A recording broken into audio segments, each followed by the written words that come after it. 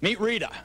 Rita was allegedly forced to have sex with perhaps the most powerful man in the world of professional wrestling, and she'll tell us all about it. Now, Rita, you were one of the first referees, female referees in the WWF. I am the first and still only uh, in the country, to the best of my knowledge. So you got between these two uh, hulks and kept them apart and kept the game going. Yeah, yeah. As the first woman to break into that previously all-male uh, area, you certainly stood the chance of making it very, very big becoming a celebrity in a, in a business, because wrestling obviously is more business than sport, in a business where the celebrities really do generate substantial income. What were the promises made to you by WWF officials? Uh, the first day in that I had met Vince McMahon, the first day in his office. Vince McMahon is the... Vince McMahon is the owner of owner. the WWF. Okay. There he is, a familiar face to anyone with a TV. Yeah, Vince McMahon, what Vince says goes.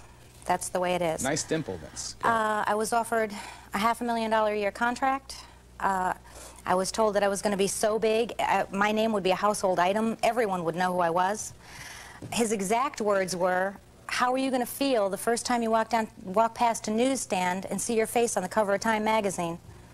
I mean, he just blew it up to be so unbelievable, you know? But I knew it was possible because I was a novelty. I was the only female. There came a time when you and Vince McMahon were allegedly, I stress allegedly because he denies that you were allegedly in a limousine. Tell us what happened. Uh, after a period of time, Vince and all his promises, I was getting less and less work. I tried to call the Federation, try calling Vince to find out why, and I could never get through to him. I knew the only way that I could really get to Vince was to go to Poughkeepsie, which at the time is where they, they filmed all the tele uh, I'm sorry, all the television matches. Poughkeepsie in upstate New York? In upstate New York, mm -hmm. yeah. Um, I went to Poughkeepsie. I seen Vince in the hall. I had asked him if I could speak with him. He told me at that point that he was really busy, but after the matches to follow him to a restaurant. There's a, a Greek diner a few miles up the road. Uh, and I did. I got to the diner, um, Vince was there, his limo driver, four or five cameramen, other people, and myself were sitting at a big round table. Um, they were talking what they were going to put on the show that week, what they were going to cut, a lot of technical things that I really didn't know anything about. When it seemed as though they were done talking, I brought up my career with Vince and asked you know, what was going to happen here. And Vince just kind of looked at me, put his finger up to his mouth, and kind of did a, you know, hush hush. So, of course, I did. I mean, Vince is, he's it. He makes you or breaks you. Uh, a few minutes later, I went into the ladies' room. When I come out into the corridor of the ladies' room, Vince was standing there. Told me that he definitely wanted to talk to me about my career. Said that he definitely neglected doing something with me at this.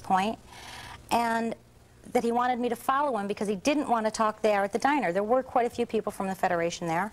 It made sense. I can understand that. We left there. I followed Vince over to a Denny's uh, in a parking lot. I got out of my car, walked to the front of the car. Vince's driver got out and opened the door, and I thought Vince was going to get out. But instead, Vince said to me, no, Rita, come in here. He says, we just sat in a diner for a couple hours. I really don't want coffee. He says, we'll just sit and talk here. We're sitting in a parking lot. I mean, it, I didn't think much of it. I got in the limo with him. We got into the limo, Vince started talking about magazines, uh, T-shirts, wrestling dolls. We don't have a, don't have a, uh, a, referee doll at this point. A female would be great. On and on and on.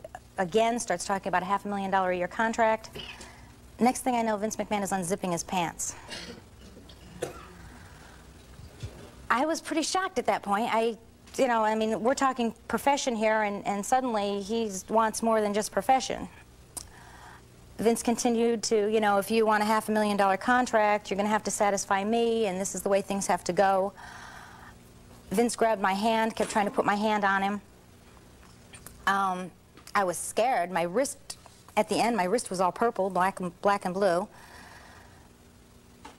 Things just didn't, he just, God, he just didn't stop. This man just didn't stop, you know a half a million dollar a year contract. How's your daughter going to go to college? Of course, she doesn't have to go to college. You know, now, I left a $30,000 a year job on Vince McMahon's word. He knew that. What is your allegation, Rita? State it. My allegation right now is sexual harassment.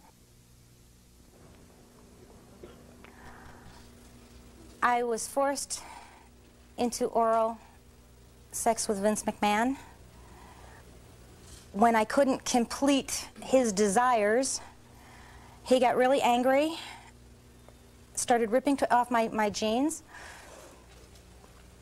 pulled me on top of him, and told me again if I wanted a half a million dollar year contract, I had to satisfy him.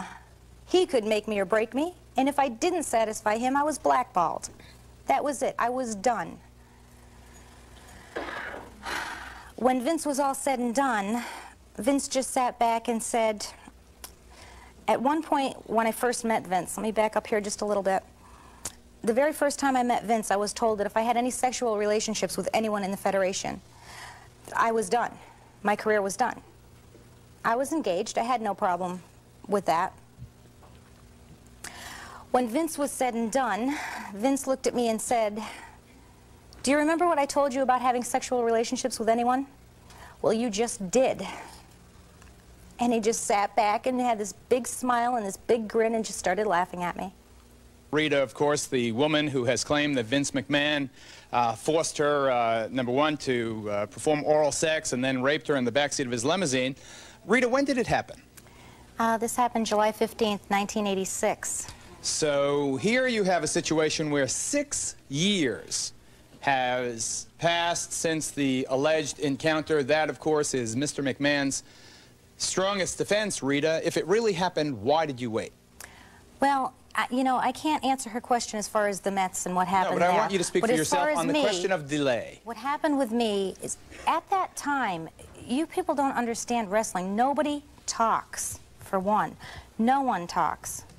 It's a complete hush-hush world. I did go to see an attorney. I was told at that time that basically this was going to come down to my word against his because I had no proof. I had to weigh that. At the time, my mother was on oxygen 24 hours a day. My dad had a bad heart. And I didn't think either one of my parents could have been put through it, especially at that time where no one was opening up. Everything was so quiet. One of the things that we found, Rita, and this is to you and Murray, is that the World Wrestling Federation, like any big business, when confronted with an, uh, an allegation or a scandal, does have the capacity to, uh, to put it uh, maybe harshly, buy off uh, potential complainants. Were you ever offered a cash settlement? Uh, I wasn't offered a cash settlement, no.